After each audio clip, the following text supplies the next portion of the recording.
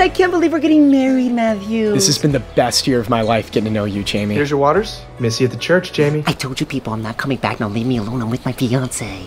What was that? Nothing. I was kind of in Scientology like three years ago, but that's not who I am anymore, so don't judge me. You were in Scientology? How did I not know that about you? I didn't tell you that? Yo, Jamie, Darnell, what are you doing here? I just want to apologize about the whole tape incident with the basketball team. Thank you, Darnell, but can you please walk away? I'm with my fiance. Of course, you got a good one.